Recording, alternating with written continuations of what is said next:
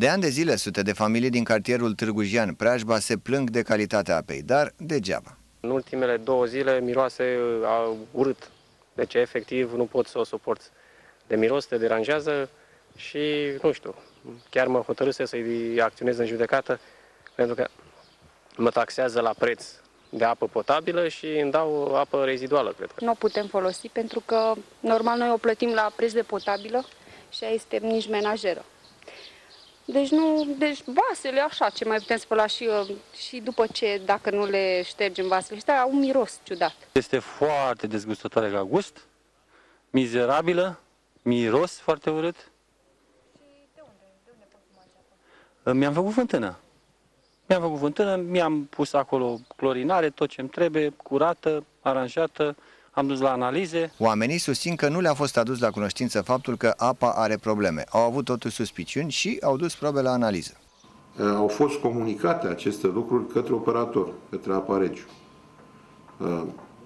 Situația mi se pare extrem de periculoasă și eu personal, în momentul de față, somez public pe cei responsabili de apa regiu, primăria, da, să facă toate demersurile pentru a nu pune în pericol sănătatea cetățenilor din preajbă.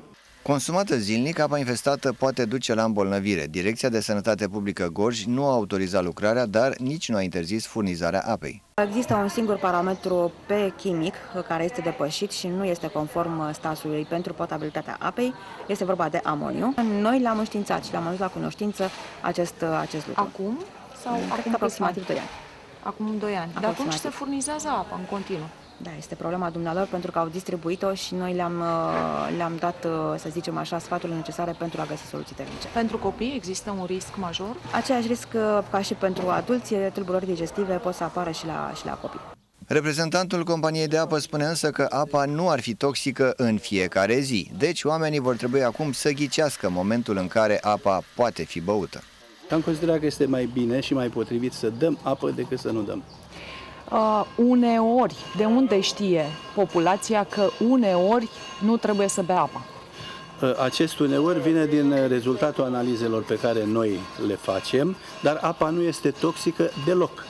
dar este în parametri... susține că produce tulburări digestive. Uh, produce tulburări digestive când uh, concentrația este foarte mare de amoniu, dar eu n-am avut concentrații foarte mari de amoniu, am depășit concentrația minimă admisă de 0,5 și am avut 1,5, 2,5, dar nu sunt concentrații de speriat. Toate apele județului Gorj au uh, amoniu.